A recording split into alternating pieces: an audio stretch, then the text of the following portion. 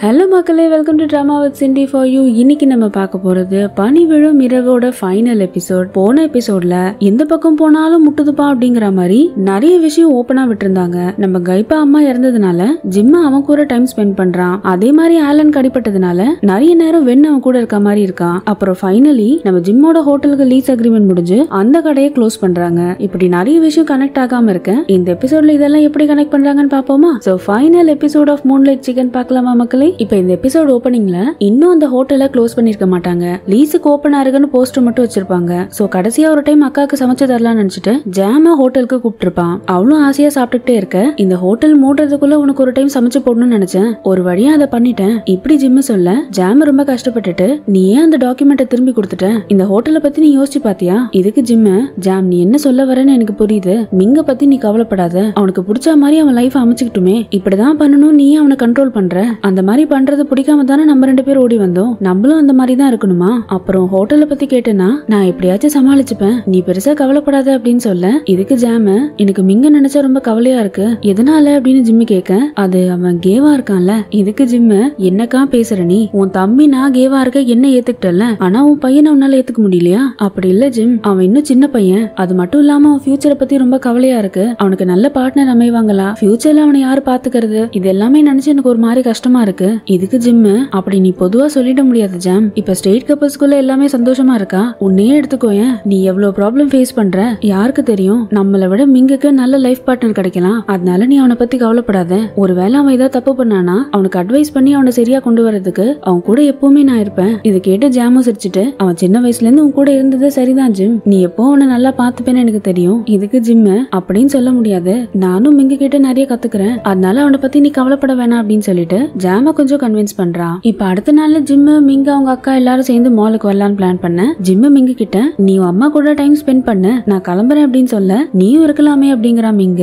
நான் தான் ஃபுல்லா உன்னையே பாத்துட்டு இருக்க போறேனே. உன் மூஞ்ச பார்த்து பார்த்து எனக்கு போர் அடிச்சிச்சு அம்மா கூட டைம் ஸ்பெண்ட் பண்ண அப்படின்னு விளையாட்டா சொல்ல மிங்கும் சிரிச்சுக்கிட்டே அம்மா கூட போறான். சோ பேசிக்கலி அவன் அம்மா கூட இருக்க போறது கொஞ்ச நாள் தானே. அதனால அவங்க ரெண்டு பேரும் கொஞ்சம் பாண்ட் ஆகட்டும்னு சொல்லிட்டு இவன் அவங்க கூட போகாம தனியா வந்துடுறான். இப்படி அக்காவையும் மிங்கையும் பாத்துக்கிட்டே அங்க நின்னுட்டு இருக்க. அங்க சிரிச்சுக்கிட்டே வெண்ணு வரான். ஆமா இவ்ளோ அழகா இங்க தனியா நின்னுட்டு இருக்கியே உனக்கு யாருனாச்சும் லவ்வர் இருக்காங்களா அப்படின்னு கேட்க ஜிம்மும் சிரிச்சுக்கிட்டே அவனை பார்த்துட்டு அதெல்லாம் யாரும் இல்லையே அப்படிங்கிறான் டக்குன்னு வெண்ணு நிஜமா இல்ல அப்படின்னு கேட்க ஜிம்மு அவனை பார்த்து சிரிக்கிறான். இப்ப ரெண்டு பேரும் வெண்ணு ஒரு புது வீடு வாங்குறதா பிளான் பண்ணிருப்பான். அந்த வீடை பாக்குறதுக்கு வராங்க. வீடெல்லாம் எப்படி இருக்கு? நல்லா இருக்கான்னு கேட்டுட்டு இருக்கேன் ஜிம்மும் நல்லா இருக்குன்னு சொல்ல இந்த வீடு மால்ல இருந்து பத்து நிமிஷம் தான். வேலை பண்ணி டயர்ட் ஆயிடுச்சுன்னா கொஞ்ச நேரம் இங்க வந்து ரெஸ்ட் எடுத்துக்கலாம். அது மட்டும் இல்லாம உன்னை பாக்கணும்னு வச்சுக்கோயேன். உடனே டக்குன்னு உன் வீட்டுக்கு வந்துருவேன். இதுக்கு ஜிம்மு அவனை பாத்துக்கிட்டே அங்கேயும் இங்கேயும் சுத்திட்டு இருந்தேன்னு வச்சுக்கோயேன் உனக்கு தேவையில்லாம முதுகு வலி தான் வரும். பேசாம இங்கே இரு அப்படின்னு சொல்ல இதுக்கு வெண்ண கிட்ட வந்து அவனை பாத்துக்கிட்டே முதுகு வலியா இல்ல உன்னை பாக்கணுமான்னு கேட்டா நான் முதுகு வலியே தாங்கிப்பேன். உன்னை பார்க்காம என்னால இருக்க முடியாது அப்படின்னு சொல்ல சரி அதெல்லாம் இருக்கட்டும். இங்க செவருக்கு என்ன பெயிண்ட் பண்ணலாம்? இந்த சோஃபா கலரை மாத்தலாமா? இப்படி அந்த வீடை பத்தி ஜிம்மு கிட்ட கேட்டுக்கிட்டே இருக்க ஜிம்மு ஒரு மாதிரி பட்டும் படாத மாதிரி பதில் சொல்றான். இது வெண்ணு கவனிச்சுட்டு கிட்ட வந்து அவன் கையை பிடிச்சிக்கிட்டு ஜிம் இது என்னோட முதல் வீடு. இந்த ஜேர்னில நீயும் இருக்கணும்னு நினைக்கிறேன். இப்படி சொல்லிக்கிட்டே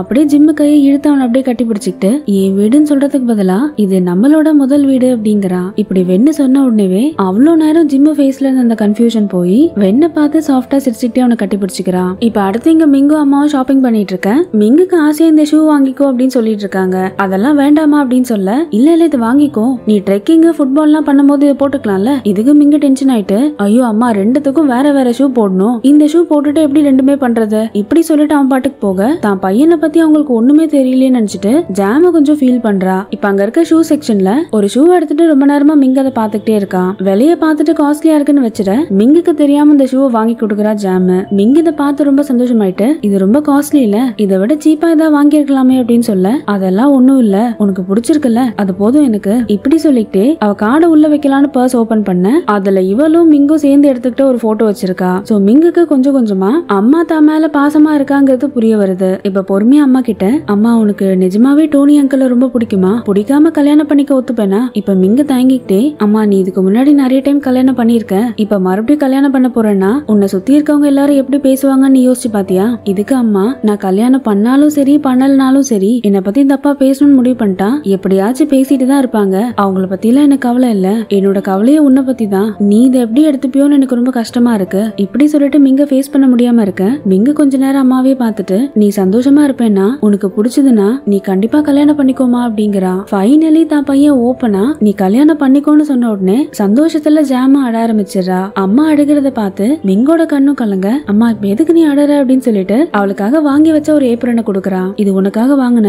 நீயே வச்சுக்கோ அப்படின்னு கொடுக்க தான் பையன் தன்னை ஏத்துக்கிட்டு தனக்காக கிஃப்ட் எல்லாம் கொண்டு வந்திருக்கான்னு நினைக்கும் போது ஜாமுக்கு அவ்வளோ சந்தோஷமா இருக்கு. இந்த சின்ன கிஃப்ட்டுக்கே அம்மா இவ்வளோ சந்தோஷப்படுறாளேன்னு நினைச்சு மிங்கும் ரொம்ப நேரமா அம்மாவை பார்த்துக்கிட்டே இருக்கான் ஃபைனலி அவனுக்கும் அம்மாக்கும் இருக்க அந்த மிஸ் அண்டர்ஸ்டாண்டிங் போகுதுங்க. இப்ப அடுத்து ஜிம்மு வெண்ணு கைப்பா லிங் எல்லாரும். ஒரு கோயில்ல மீட் பண்ண இப்ப ஜிம்மு கைப்பா கிட்ட கைப்பா இப்ப அம்மா கூட இல்ல. சிக்கன் கடையை என்ன பண்ண போற அப்படின்னு கேட்க உன்னால தனியா மேனேஜ் பண்ண முடியுமா? அப்படி அந்த வேலை உனக்கு பண்ண வேண்டாம்னா இப்ப உன் கையில போதுமான அளவுக்கு வருமானம் இருக்கு. அதனால அதை வச்சு வேற ஏதாவது வேலை பார்க்கலாம் அப்படின்னு சொல்ல இதுக்கு கைப்பா கொஞ்ச நேரம் அமைதியா இருந்துட்டு சின்ன வயசுல எனக்கு அம்மாவோட கடையில வேலை பண்றதுக்கு பிடிக்கவே பிடிக்காது தெரியுமா? படிச்சு முடிச்சுட்டு வேற வேலைக்கு போகணும்னு தான் ஆசைப்பட்டேன். ஆனா இப்ப எனக்கு அங்கிருந்து போக மனசு வரல. நான் அங்கேயே வேலை பண்றேன் அப்படின்னு சொல்ல ஜிம்மு ஓகேன்னு சொல்லிட்டு நான் காரை ரெடி பண்றேன் அப்படின்னு சொல்லிட்டு ஜிம்மும் லெங்கும் வெளில போறாங்க. இப்ப அங்க இருக்க வெண்ணு கிட்ட அன்னைக்கு என்னோட அம்மா காரியத்துல நீ நிறைய ஹெல்ப் பண்ண. அதுக்கு ரொம்ப தேங்க்ஸ் அப்படின்னு சொல்ல அதெல்லாம் பரவாயில்ல அப்படிங்கிறான் வெண்ணு. சோ கைப்பாக்கு இப்ப வரைக்கும் வெண்ணும் ஜிம்மும் ஒரு மாதிரி ரிலேஷன்ஷிப்ல இருக்காங்கன்னு தெரியாது. இப்ப கோவில்ல இருந்து வெளில வந்துட்டு ரெண்டு பேரும் வெயிட் பண்ணிட்டு இருக்கேன். அப்ப கீழே ஜிம்மு வண்டி எடுத்துட்டு வந்துட்டு மேல நிக்கிறவங்களை பார்த்து சிரிக்கிறான். தன்னை பார்த்து தானே சிரிக்க போறான்னு நினைச்சிட்டு கைப்பாவும் திரும்பி சிரிக்க. அப்பதான் அவன் கவனிக்கிறான். ஜிம்மு வெண்ணை பார்த்து சிரிச்சிட்டு இருக்கான். அதே நேரம் வெண்ணு அவனை பார்த்து கொஞ்சம் வெக்கத்தோட சிரிக்க. அப்பதான் கைப்பாக்கு ஸ்ட்ரைக் ஆகுது. இவங்க ரெண்டு பேருக்குள்ளயும் ஒரு இன்ட்ரெஸ்ட் இருக்குன்ட்டு. சோ ஜிம்மி ஏன் தன்னை வேணான்னு சொல்லியிருக்கான்னு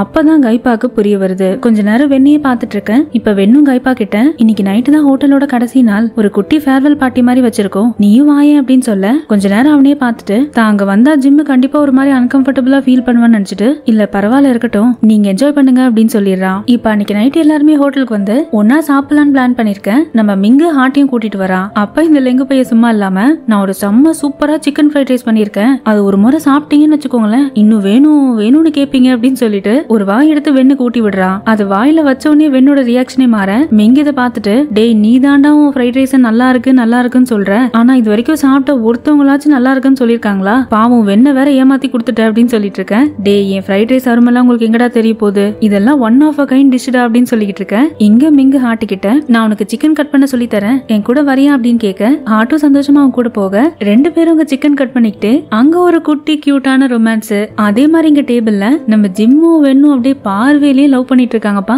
இதுல பாவம் இந்த லெங்கு பையன் மட்டும்தான் தின்னுகிட்டே இருக்கா. இப்படி ஒரு மாதிரி ஹாப்பி மூடாவே அங்க இருக்க. தன்னோட ஃபேமிலிக்குள்ள இருக்க பிரச்சனை ஒரு மாதிரி சால்வ் ஆனாலும் அதை நினைச்சு ஜிம்மு சந்தோஷப்பட்டாலும் இத்தனை வருஷமா கஷ்டப்பட்டு ரன் பண்ணிட்டு இருந்த ஹோட்டல்ல இதான் கடைசியா சாப்பிட போறோம்னு நினைக்கும் போது ஜிம்மு மனசுக்குள்ள ரொம்ப ஃபீல் பண்ண ஆரம்பிக்கிறான். இப்ப அடுத்து இங்க ஆலனும் வெண்ணும் சேர்ந்து இருந்தாங்கல்ல ஒரு வீடு அதுல இருந்து ஆலன் காலி பண்ணிட்டு வெளில போறான் அங்க ஆலனோட ஃப்ரெண்ட் ஜீடு வந்துட்டு அவனுக்கு பேக் பண்ண ஹெல்ப் பண்ணிட்டு இருக்கா. அப்ப ஆலனும் வெண்ணும் சேர்ந்து எடுத்துக்கிட்டு நிறைய போட்டோஸ் அங்க இருக்க. இதெல்லாம் எந்த பாக்ஸ்ல பேக் பண்றது அப்படின்னு கேக்குறா. ஆலன் கொஞ்ச நேரம் அந்த போட்டோவை பார்த்துட்டு அதை எங்கேயே விட்டுரு. அதை எடுத்துட்டு போய் நான் எங்க வைக்க போறேன்? இப்படி சொல்ல அவளும் ஒரு மாதிரி தயங்கிக்கிட்டே அந்த போட்டோ அங்க வச்சிடறா. இப்ப அடுத்த கொஞ்ச நாள்ல ஆலனுக்கு செக்அப் பண்ற டேட்டும் வர வெண்ண அவன் அங்க கூட்டிட்டு வரான். அவன் செக்அப் முடிச்சுட்டு வெளில வரும்போது வெண்ண அவனை கை தாங்களா புடிச்சிட்டு வர ஆலன் டக்குன்னு வெண்ண கூப்பிட்டு அவன் கைய புடிச்சிட்டு இருக்கான்ல அதை மெதுவா எடுத்து விடுறான் வெண் இதுக்கு மேல உன்னோட ஹெல்ப் எனக்கு வேண்டாம். நானே நடக்கிறேன் அப்படின்னு சொல்ல வெண்ணுக்கு மனசு கேட்காம ஏய் அப்பெல்லாம் இல்லடா. நீ இன்னும் கொஞ்சம் கியூர் ஆகணும்ல. அது வரைக்கும் நான் ஹெல்ப் பண்றேன் அப்படின்னு சொல்லிட்டு மறுபடியும் ஆலனோட கைய பிடிக்க ஆலன் திரும்பவும் அவன் கையை எடுத்து விடுறான். இல்ல வென் என்ன நம்பு. இனிமேல் நானே நடக்கிறேன் அப்படின்னு சொல்லிட்டு வெண்ண கொஞ்ச நேரம் பாத்துக்கிட்டே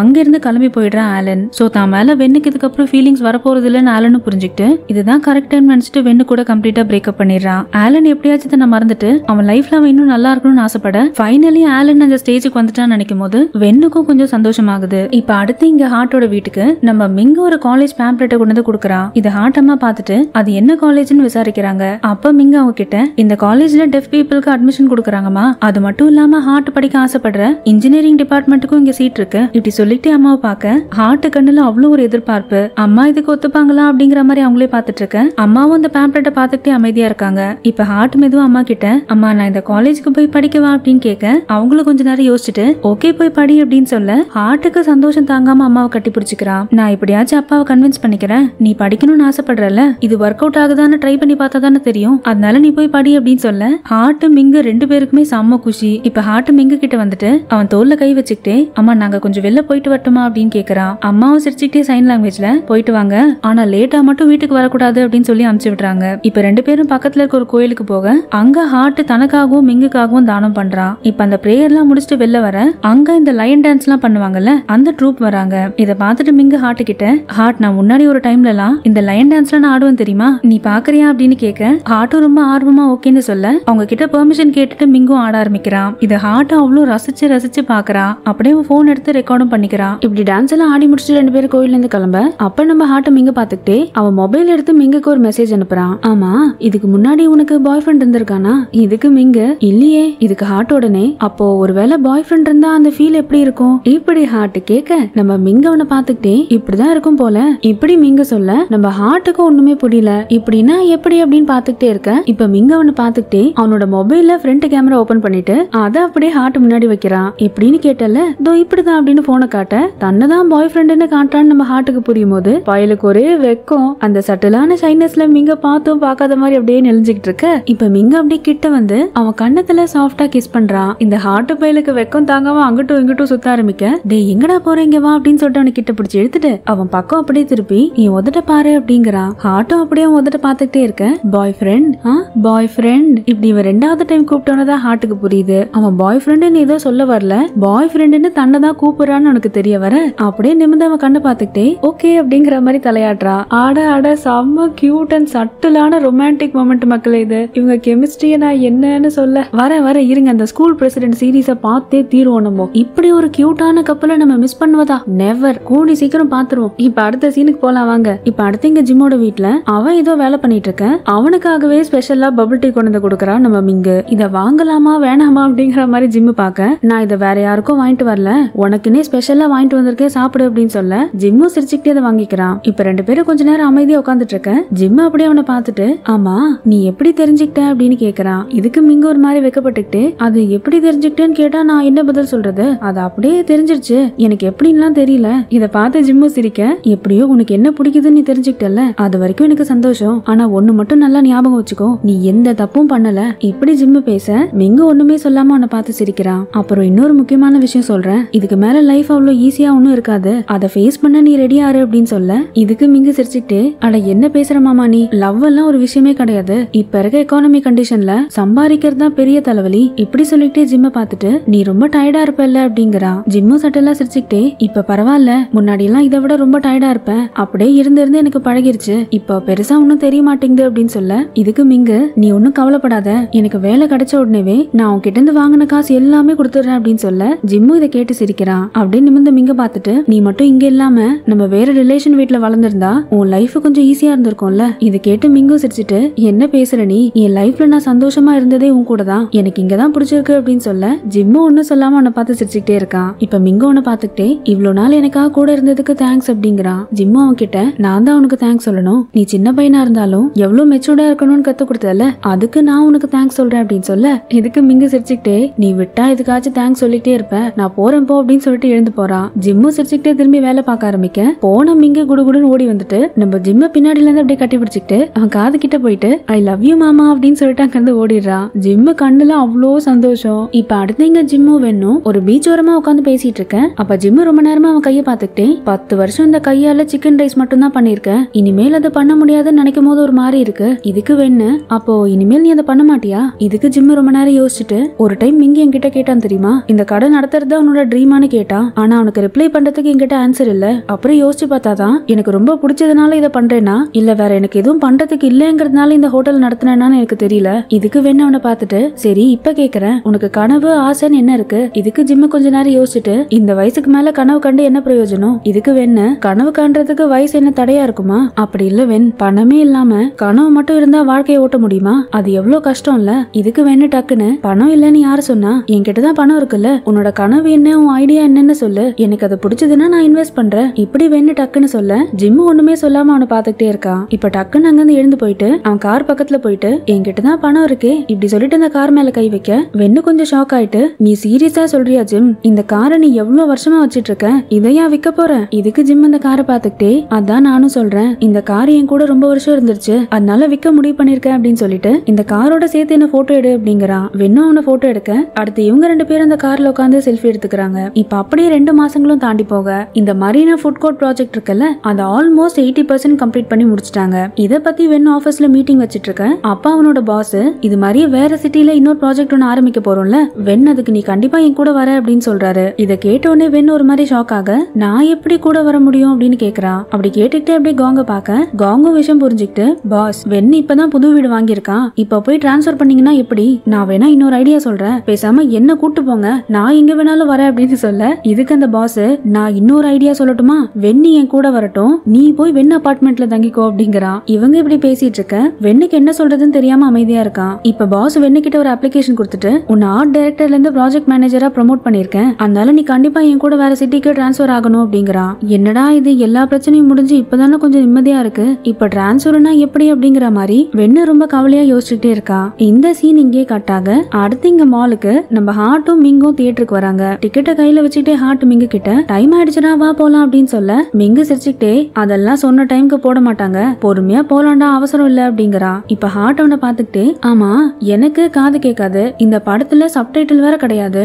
எனக்கு எப்பதான் இந்த படம் புரியும்? இதுக்கு மிங்க அவனை பார்த்து சிரிச்சுக்கிட்டே என்னடா பேசுற?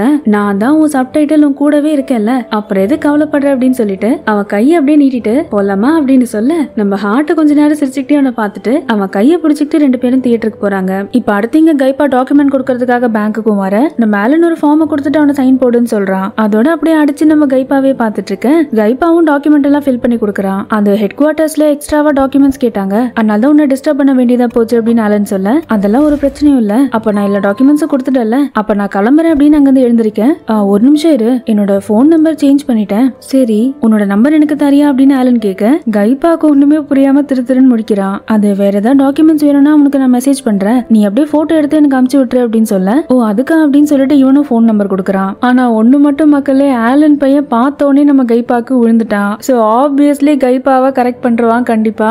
இவங்க ரெண்டு பேரும் ஒண்ணு சேர்ந்தாலும் சூப்பரா இருக்கும்ல? நல்ல பர்ஃபெக்டான கப்பல் தான் ரெண்டு பேரும். அது இல்லாம அப்படியே லைட்டா காட்டுறாங்களான்னு பாப்போம் இப்ப ஃபோன் நம்பர் கொடுத்துட்டு நம்ம கைப்பா அங்கிருந்து எழுந்து போக போனவன் கடகடன் ஓடி வந்துட்டு அதை நான் பெண்ணை அப்படியே எடுத்துட்டு போயிட்டேன் அப்படின்னு சொல்லிட்டு ஆலன் கிட்ட கொடுக்குறான் இந்த ஆலனும் சிரிச்சுக்கிட்டே அதை வாங்கிட்டு சேச்சா அதெல்லாம் என்ன பரவாயில்ல அப்படின்னு சொல்லிட்டு சிரிக்க இந்த கைப்பா பயிலும் சிரிச்சுக்கிட்டே கிளம்புறான் டே ஆலனு இது என்னடா அது? உனக்கு வந்தா ரத்தம் எனக்கு வந்தா தக்காளி சட்னியா? இதே மாதிரி தானே ஜிம்மும் தெரியாம பேனா எடுத்துட்டு போனா. அதுக்கு என்ன பேச்சு பேசின பாவம் அந்த பச்சை பிள்ளைய? இப்ப என்னடானா இந்த பேனாவை நீ எடுத்துட்டு போறதுக்கு தான் நான் வச்சேன் அப்படிங்கிற மாதிரி என்ன சிரிக்கிறான் பாருங்க மக்களே. ச்சே காதல் ஒருத்தர் எப்படி எல்லாம் மாத்தி வச்சிருக்கு. சரி விடுங்க நல்ல பசங்களா போயிட்டாங்க சேரட்டும் சேரட்டும். நம்பர் வாங்கினதோட சும்மா இருந்தான் ஆளுன்னு உடனே ஒரு மெசேஜ் தட்டி விட அந்த ரூம்ல இருந்து அப்பதான் கைப்பா வெளில போயிருப்பான் என்னடா அது இப்பதான் நம்பர் கொடுத்தோம் அதுக்குள்ள மெசேஜ் பண்றானேன்னு சொல்லிட்டு ஆச்சரியமா அவனு மெசேஜ் எடுத்து பாக்குறான் அவனுக்கே சர்ப்ரைஸ் தாங்காம திரும்ப திரும்பி ஆலனை பாத்துக்கிட்டே இருக்கா. ஒருவேளை இவனுக்கு நம்ம மேல இன்ட்ரெஸ்ட் இருக்கோ அப்படின்னு யோசிச்சுக்கிட்டே தனக்கு தானே சிரிச்சுக்கிட்டே அங்கிருந்து கிளம்புறான் இப்ப அடுத்து இங்க ஜிம் என்ன பண்றான் அவனோட காரை வித்தான்ல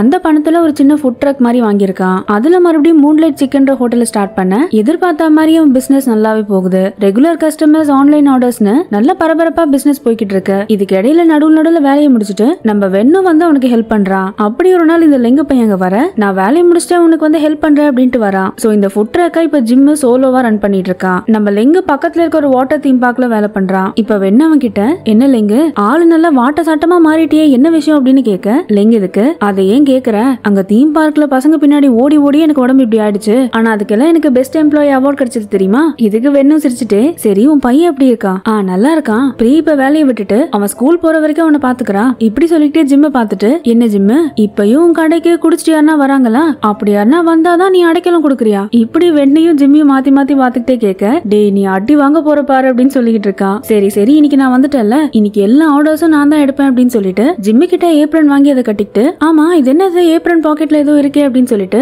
பாக்கெட்ல இருந்து ஒரு கோல்டு செயின் எடுக்கிறான். இந்த செயினை தான் நம்ம ஜிம்மு லெங்கோட கல்யாண செலவுக்காக அவனுக்கு கொடுத்திருப்பான். சோ லெங்கு எப்படியோ கஷ்டப்பட்டு வேலை பண்ணி பணம் எல்லாம் சேர்த்து அந்த செயின் திருப்பி ஜிம்முக்கு கொடுக்கறான் நீ என் மேல நம்பிக்கை வச்சு எனக்கு ஹெல்ப் பண்ணதுக்கு தேங்க்ஸ் ஜிம் இப்ப நான் கொஞ்சம் பணம் சேர்த்துட்டேன். இந்த வாரம் பிரிய கூட்டிட்டு அவங்க அப்பா அம்மாவை பார்க்க போறேன். கல்யாணத்துக்கு சம்மதம் வாங்க போறேன் அப்படின்னு சொல்ல ஜிம்முக்கு செம்ம ஹாப்பியா இருக்கு. அதுக்குள்ள கஸ்டமர்ஸ் ஆர்டர் எல்லாம் பண்ண ஆரம்பிக்க நான் போய் பாத்துக்கிறேன் நீ உட்காருன்னு சொல்லிட்டு லெங்க் போயிடுறான் இப்ப வெங்க ஜிம்ம பாத்துக்கிட்டே ஆமா நானும் தான் ஹோட்டல்ல வேலை பண்றேன். எனக்கு கோல்டெல்லாம் எதுவும் கிடையாதா அப்படின்னு சொல்ல ஏன் இல்ல இருக்கே அப்படின்னு சொல்லிட்டு நம்ம ஜிம்மு பாக்கெட்ல இருந்து ஒரு ரூபாய் காயின் எடுத்து அவனுக்கு கொடுக்குறான் என்னது இது ஒரு ரூபாய் நீ தான் கேட்டல வச்சுக்கோ அப்படின்னு சொல்ல அப்ப இன்னொரு ஒரு ரூபாய் கொடு நான் முட்டாய் வாங்கி சாப்பிடணும் அப்படின்னு பெண்ணு சொல்ல? அதெல்லாம் கொடுக்க முடியாது அப்படிங்கிறான் ஜிம்மு. அப்ப வேணா போ நீயே வச்சுக்கோ அப்படின்னு சொல்லிட்டு அந்த காசை தூக்கி போடுறான். இப்படி ஒரு மாதிரி நல்ல ஹாப்பி அட்மாஸ்பியர்ல போய்கிட்டு இருக்கு. இப்ப அடுத்து இங்க ஜிம்மு வெண்ணு மிங்கு ஹார்ட் எல்லாருமே ஜிம்மோட அக்கா ஜாம் இருக்கான்ல அவளை பாக்குறதுக்காக அவங்க வீட்டுக்கு வராங்க. கூடவே ஜாம் கல்யாணம் பண்ணிக்க போற டாங்கும் அவரோட பொண்ணும் இருக்க. எல்லாரும் கேஷுவலா உட்காந்து சாப்பிட்டுட்டு இருக்கும் போது ஜிம்மு பொறுமையா ஜாம் டாங் கிட்ட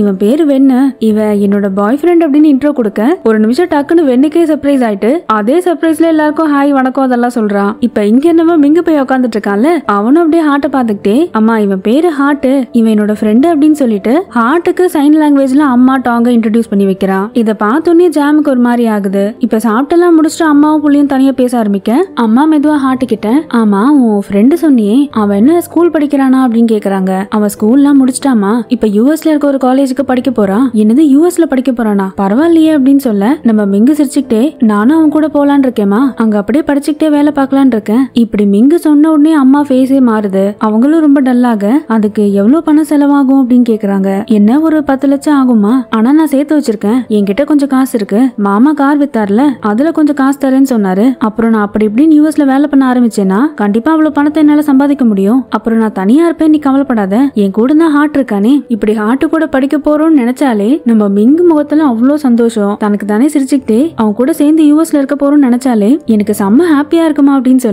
இதுக்கெல்லாம் ஒரு வார்த்தை கூட சொல்லாம அம்மா ரொம்ப நேரமா மிங்கே பார்த்துட்டு இருக்காங்க இப்ப ரெண்டு பேரும் அப்படியே வேலையெல்லாம் முடிச்சுட்டு உட்காந்து பேச ஆரம்பிக்க அங்க தூரத்துல ஹார்ட் தாங்கோட குட்டி பொண்ணு இருக்கால அவ கூட விளையாடிட்டு இருக்கா அம்மாவும் இதை பாத்துக்கிட்டே மெதுவா மிங்க கிட்ட ஆமா ஹாட்டு உன்னோட பாய் ஃப்ரெண்டா அப்படின்னு கேக்குறாங்க. இப்படி கேட்டதும் மிங்க சிரிச்சுக்கிட்டே ஹார்ட்டை பாத்துட்டே இருக்க. அதெல்லாம் ஏமா இப்ப கேக்குற? அதெல்லாம் விடு அப்படின்னு சொல்ல அம்மாவும் வைக்கப்படுறத பார்த்து புரிஞ்சுக்கிட்டு உனக்கு இது ஓகேவா அப்படின்னு கேக்குறாங்க. அம்மா என்ன கேட்க வராங்கன்னு மிங்குக்கும் புரிய அவனுக்கு காது கேட்காத பத்தி தானே நீ சொல்ற?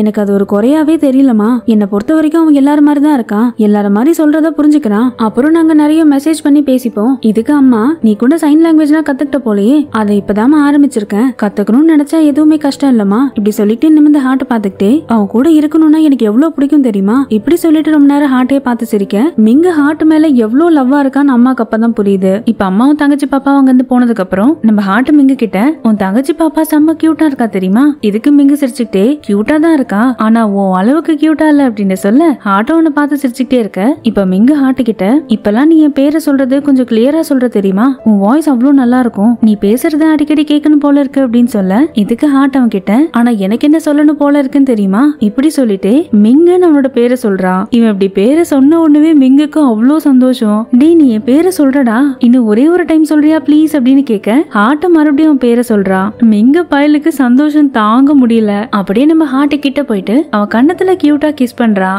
அட அட என்ன கியூட்டான கப்பல் இல்ல? ஆனா மக்களே சில பேரை நமக்கு பார்க்கும் போதெல்லாம் சே என்ன கப்பல் பா நல்லா இருங்க போங்கடா அப்படின்னு நம்ம மனசுக்கு தோணும்ல. அது சீரியலா இருந்தாலும் சரி நார்மல் லைஃப்ல இருந்தாலும் சரி எனக்கு அப்படி ஒரு ஃபீலிங் வர்றது இவங்க ரெண்டு பேர்கிட்ட தான். இந்த கேரக்டர் ரெண்டு பேருமே அப்படியே மேட் ஃபார் ஈச் அதர் மாதிரி எனக்கு தோணும். இன்ஃபேக்ட் இந்த சீரீஸ்ல எல்லாருக்குமே அப்படிதான் இருக்கும்னு வச்சுக்கோங்களேன். உங்களுக்கு எந்த கப்பல் பா ரொம்ப பிடிக்கும்? கமெண்ட் செக்ஷன்ல சொல்லுங்க. இப்ப அடுத்து மிங்கோட அம்மா நம்ம ஜிம்மி கிட்ட வந்துட்டு அவ ஏற்கனவே ஜிம்மி கிட்ட கொடுத்த அந்த அபார்ட்மெண்ட் டாக்குமெண்ட் மறுபடியும் கொடுத்துட்டு இந்த டாக்குமெண்ட் டாக்குமெண்ட் அடமானம் வச்சு மிங்கோட காலேஜ் ஃபீஸுக்கு செலவு பண்ணு அப்படின்னு சொல்ல அதெல்லாம் வேண்டாம் அப்படிங்கிறான் ஜிம்.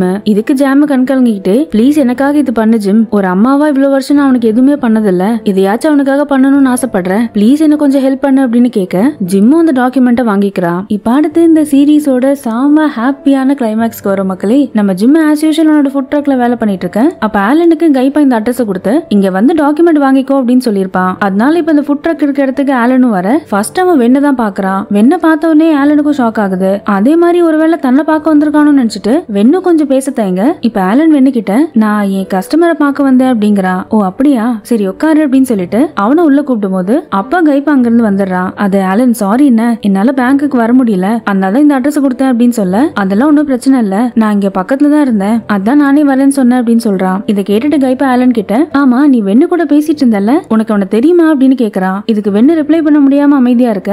ஆலன் டக்குன்னு அது இவனோட ஃப்ரெண்டு அப்படின்னு சொல்றான். ஓ அப்படியா? சரி வா வந்து உட்காருன்னு சொல்லிட்டு கைப்பாவும் ஆலனும் உட்காந்து டாக்குமெண்ட்ஸ் பாக்குறாங்க. இப்ப அதே நேரம் இங்கே வெளில போன ஹாட்டும் இங்கும் வர அவங்க ரெண்டு பேரும் ஒரு டேபிள் உட்காந்து சாப்பிட ஆரம்பிக்கிறாங்க. அண்ட் இந்த பக்கம் நம்ம லெங்க பிரி அவங்க பாப்பா இவங்க மூணு பேருமே உட்காந்துட்டு இருக்க எல்லா மெயின் கேரக்டர்ஸும் ஒரே இடத்துல வந்துட்டாங்க. அப்ப இந்த லெங்க பைய சும்மா இல்லாம நேரா கைப்பா கிட்ட போயிட்டு என்ன கைப்பா? பேங்க் மேனேஜரா பரவாயில்லையே. இப்ப அப்படியே திரும்பி ஆலன் கிட்ட நீங்க டேட் பண்ணீங்கன்னா எனக்கு கிரெடிட் கார்டுலாம் ஃப்ரீயா கொடுப்பீங்கல்ல? அப்படின்னு கேட்க கைப்பாக்கு ஒரு எம்பாரசிங்கா போயிட்டு டேய் ஏன்டா மானத்தை வாங்குற? போடா நாங்க ஒன்னும் டேட் எல்லாம் பண்ணல அப்படிங்கிறான் இவன் இப்படி சொல்லிட்டு இருக்கும் போதே ஆலனும் சிரிக்க அதெல்லாம் தெரியும் தெரியும் எங்களுக்கு.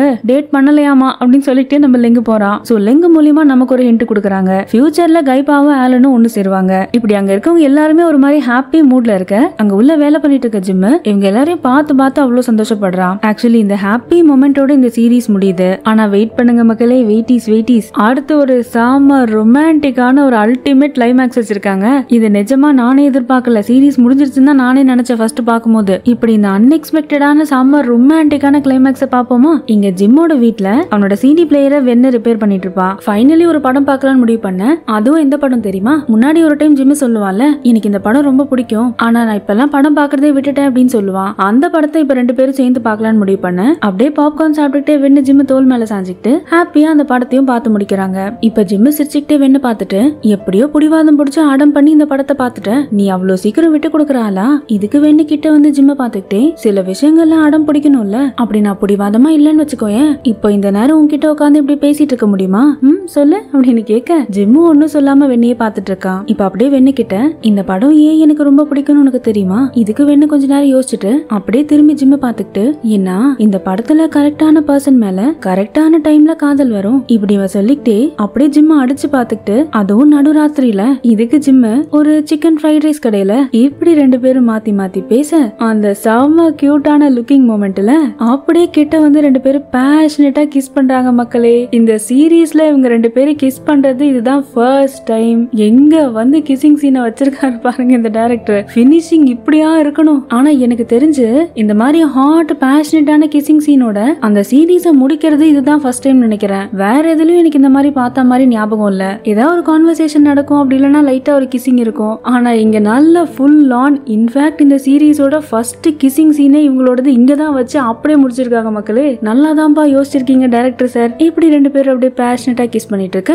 அப்ப கரெக்டா வெண்ணுக்கு ஜிம்மோட ஹோட்டல் ஐடி கார்டு இப்படி கண்ணில் படுது. அதுக்கு பின்னாடி டெம்பரவரி ஸ்டாஃப் வெண்ணுன்னு எழுதி கொடுத்துருப்பால அதை பார்த்துக்கிட்டே அப்படியே ஜிம்மு கிட்ட அதை காட்டிட்டு இன்னமும் நான் டெம்பரவரி எம்ப்ளாயி தானா? ஆ? அப்படின்னு கேட்க ஜிம்மும் அந்த கார்டை பார்த்துக்கிட்டே அப்படியே அதை வாங்கி வெண்ணோட கழுத்துல மாட்டிட்டு அந்த ஐடி கார்டு ஸ்டாப்பை பிடிச்சி அப்படியே அவனை கிட்ட இழுக்கிறான். வெண்ணும் அப்படியே அவன் கிட்ட வர இன்னமும் எம்ப்ளாயியா மட்டும்தான் இருக்கணுமா? ஆ? அப்படின்னு கேட்க நம்ம வெண் அப்படியே அவன் கண்ணை பார்த்துக்கிட்டே அப்படி எம்ப்ளாயியா மட்டும் இல்லனா வேற என்னவா இருக்கணும்? இதுக்கு ஜிம் அப்படியே கிட்ட வந்து என் பாய் ஃப்ரெண்டா இருக்கியா? அப்படின்னு கேட்க நம்ம வெண் அப்படியே கொஞ்ச நேரம் அவனை பார்த்துட்டு நீ என்ன சொன்ன? என்ன கேட்கல? இன்னொரு டைம் சொல்லு அப்படின்னு சொல்லிட்டு அப்படியே அவன் காதை காட்ட ஜிம் அப்படியே அவன் கழுத்தை பிடிச்சு சாம பேஷனட்டா கிஸ் பண்றா. ஆனா எனக்கு இந்த சீனை பார்க்கும் போதெல்லாம் இந்த தௌசண்ட் ஸ்டார்ஸ்ல ஏர்போர்ட் சீன் வரும் தெரியுமா? கடைசி நிமிஷத்துல சீஃப் தியான பார்க்க வருவானே. அப்ப கூட அப்படியே கட்டி பிடிச்சி அவன் நெத்தியில கிஸ் பண்ணுவான்ல எனக்கு என்னமோ அந்த சீன் ஞாபகம் வந்துகிட்டே இருக்கு. இப்ப அப்படியே வெண்ண சாஃப்டா கிஸ் பண்ணிக்கிட்டே அப்படியே மெதுவா அவன் காதை கடிச்சிட்டு இப்ப கேட்டுச்சா அப்படின்னு சொல்லிட்டு அப்படியே வெண்ண பாக்க வெண்ண அப்படியே கிட்ட வந்து ஜிம்மோட ஃபேஸ பிடிச்சிட்டு சாம ரொமான்டிக்கா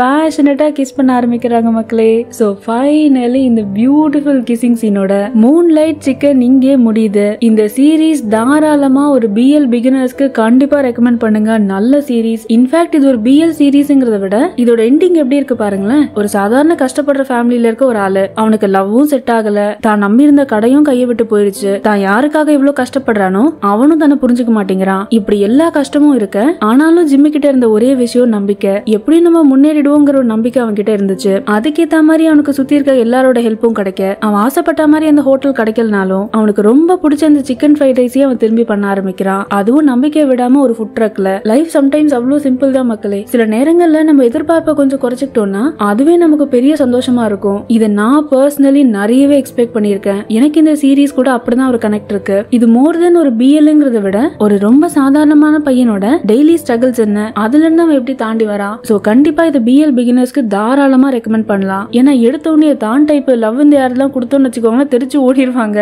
so together I told sun set about you அந்த மாதிரி மூன்லைட் சிக்கன் இப்படி ஒரு எமோஷன் ஃப்ரெண்ட்லியா சில சீரிஸ் கொடுக்கும்போது நிஜமாவே ஸ்டோரி பிடிச்சி பாக்குறவங்கன்னா கண்டிப்பா இந்த ஸ்டோரி எல்லாருக்குமே ரொம்ப பிடிக்கும். நீங்க சொல்லுங்க மக்களே ரொம்ப நாளுக்கு அப்புறம் இப்படி ஒரு ரெஃப்ரெஷிங்கான நல்ல ஸ்டோரி லைன் நல்ல ஆக்டிங் நல்ல டைரக்ஷன் நல்ல சினிமாட்டோகிராஃபி இது எல்லாமே ஒன்று சேர்ந்த சீரீஸை பார்த்ததுல. நீங்க எப்படி ஃபீல் பண்றீங்கன்னு கமெண்ட் செக்ஷன்ல சொல்லுங்க. எனக்கு இந்த சீரீஸ் ரொம்ப ரொம்ப பிடிக்கும். அத்தி பூத்தா மாதிரி எப்பயாச்சும் இந்த மாதிரி சீரீஸ்லாம் அப்படி அப்படி வந்துட்டு போகும். அதை கண்டிப்பா மிஸ் பண்ணாம நம்ம சேனல்ல தொடர்ந்து பார்க்கலாம். ஸோ இதோட செம்ம ஃபீல் குட் மூமெண்டோட நம்ம மூன் லைட் சிக்கன் சீரீஸை இங்கேயே முடிக்கிறோம். இவ்வளோ நாள் என் கூட இந்த சீரீஸ்ல டிராவல் பண்ண அத்தனை பேருக்கும் பெரிய பெரிய தேங்க்ஸ் மக்களே. அடுத்து சூப்பரான சீரீஸ்ல மீட் பண்ணுவோமா? அண்ட் இந்த வீடியோ பிடிச்சிருந்தா மறக்காம லைக் பண்ணுங்க. அடுத்த சீரீஸ் எல்லாம் பார்க்க மறக்காம நம்ம சேனலுக்கு சப்ஸ்கிரைப் பண்ணுங்க. இன்னொரு செம்ம ஜாலியான வீடியோல மறுபடியும் வந்து மீட் பண்றேன். Until then stay safe be happy have love cheers bye.